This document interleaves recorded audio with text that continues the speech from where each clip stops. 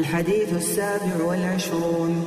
عن النواس بن سمعان رضي الله عنه عن النبي صلى الله عليه وسلم قال البر حسن الخلق والإثم ما حاك في نفسك وكرهت أن يطلع عليه الناس.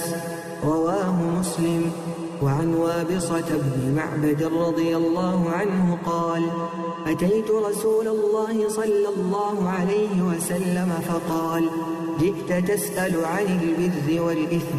قلت نعم. قال استفت قلبك. البر ما اطمأنت إليه النفس واطمأن إليه القلب.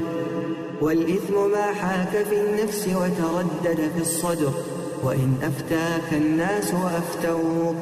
حديث حسن رويناه في مسندي الإمامين أحمد بن حنبل والدارمي بإسناد